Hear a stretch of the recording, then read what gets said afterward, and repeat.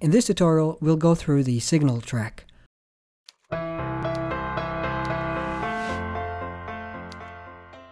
Bismillah ar-Rahman ar-Rahim. Assalamu alaikum wa rahmatullahi wa barakatuh. Hi everyone, this is Omar Balfaqih. If you are a subscriber, welcome back. If not, welcome to this channel where I create game development tutorials and from time to time I upload my short films. If you're interested, subscribe and hit the bell icon to get notified whenever a new video is uploaded. So before we start, I just want to say thank you, thank you so much to every single one of you guys.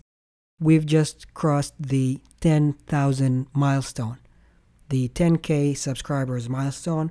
It's not an easy one, at least for me. It took me 10 years just to be here.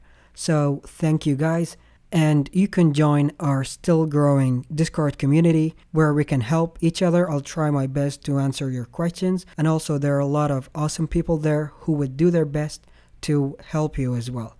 So, join now. I'll see you there.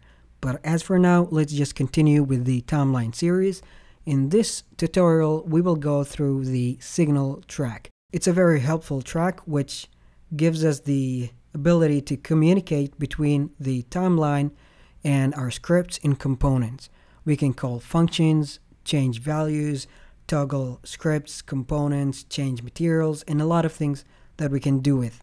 Let's start and see what we can do with it. So in this simple scene, I'll just hit play and see what we have. Nothing, just two boxes and a sphere. They're just falling. Let's say I would like the sphere to fall few seconds after the two boxes. How would I do that? Normally, we would create a script that toggles the rigid body in few seconds. But with signal track, we can do that simply. So here I've got a an empty timeline and I'm just going to create a signal track. It requires a signal receiver.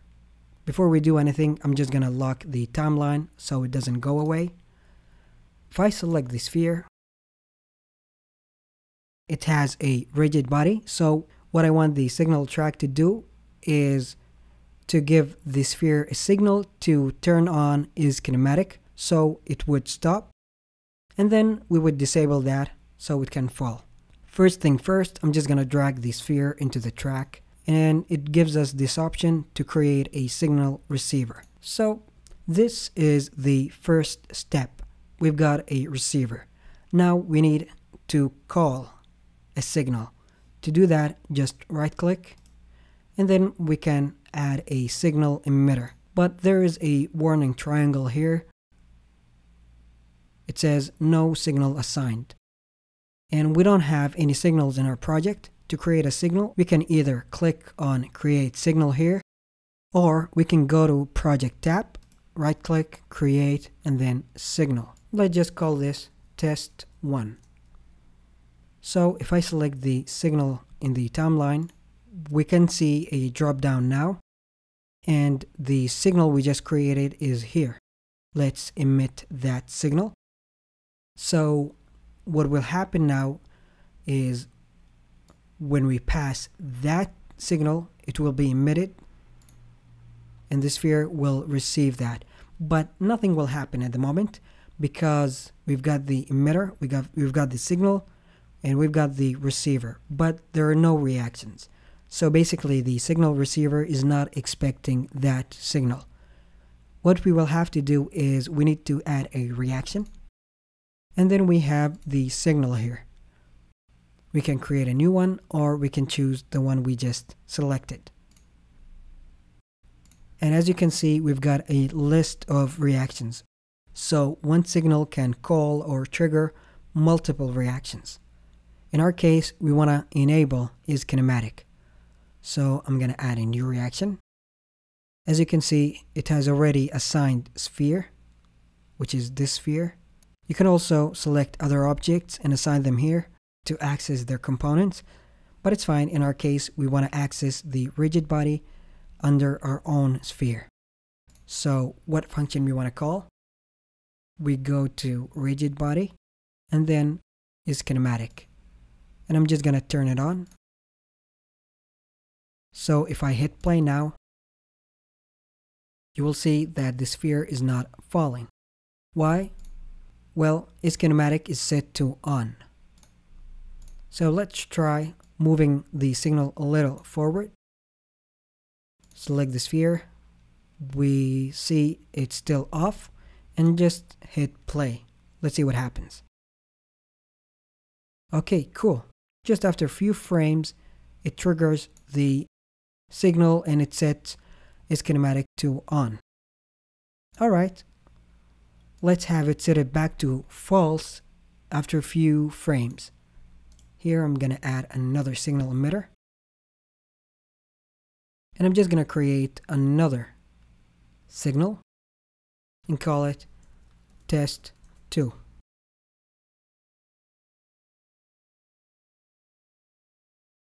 It doesn't have any reactions at the moment.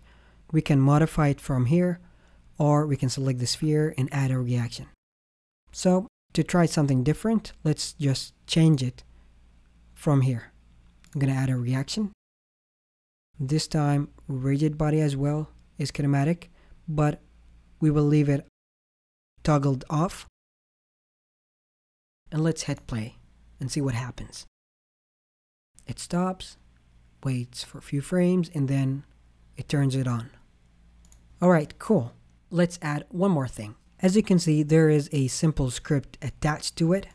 It has a function add force, which simply will add force to the rigid body, so it will fly a little. Let's create our third signal.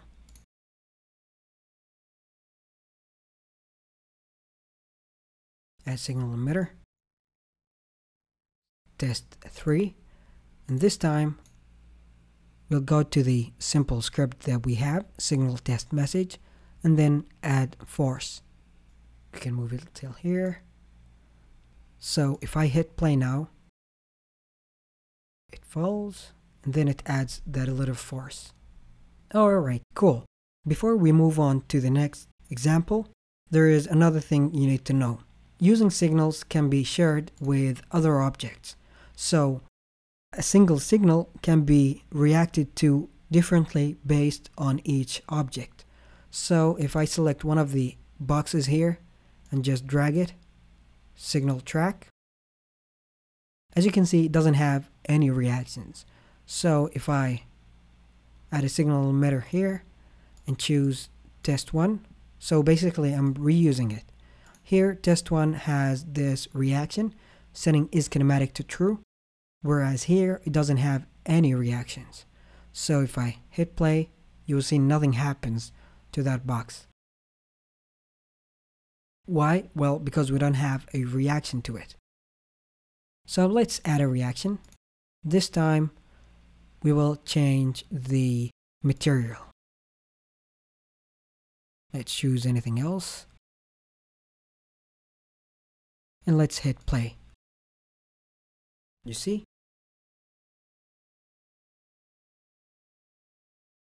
Each object reacts differently to each signal. So basically, you can create a list of signals and then you can share them among different objects. Let's take another example.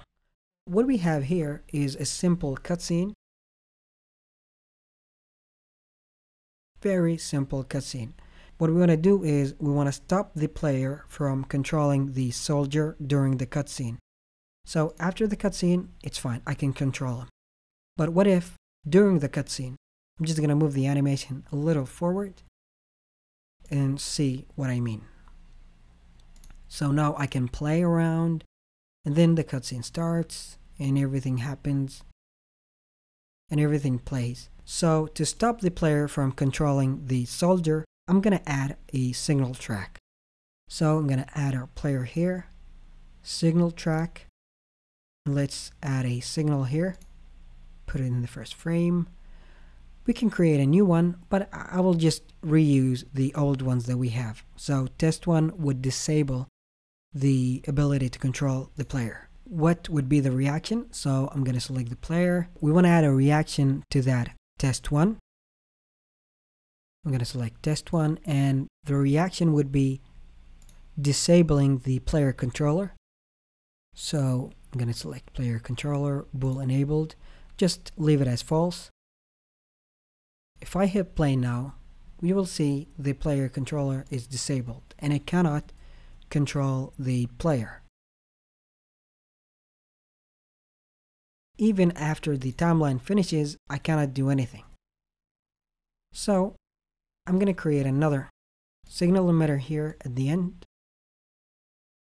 and test 2 add a reaction. This time we're going to re-enable the player controller script. So let's hit play and see what happens.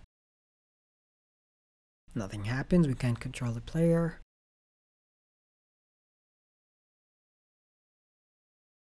Now I can control the player. But of course, the animation will be pulled back until here. This is how it should be like. So we cannot control the player till the end. Okay, cool. And I already think that you have a lot of ideas in your mind that you want to do with the help of signal tracks. So let me know what sort of implementations you would do and how will this help you. And uh, if you got any questions, just let me know. I would love to answer your questions. And hopefully, after we finish the timeline series, we will go through more filmmaking with Unity and we're gonna talk about facial animation and so on. So I'm really excited about the upcoming tutorials. Let me know what you think. If you'd like to see more of these videos, remember to subscribe and hit the bell icon to get notified whenever a new video is uploaded. This is Omar Balfaqih. Thank you so much for watching. I'll see you in the next video. Bye bye.